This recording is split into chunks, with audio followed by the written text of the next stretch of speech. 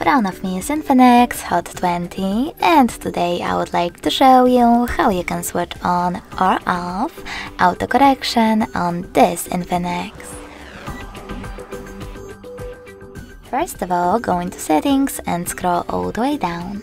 Now choose system and select languages and input. Then click on on-screen keyboard and Gboard.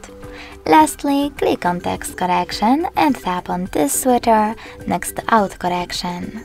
As you can see after that, auto correction is on, but you can switch it off by tapping on the same switcher again. Thanks so much for watching. If you enjoyed this video, leave a like, comment and subscribe.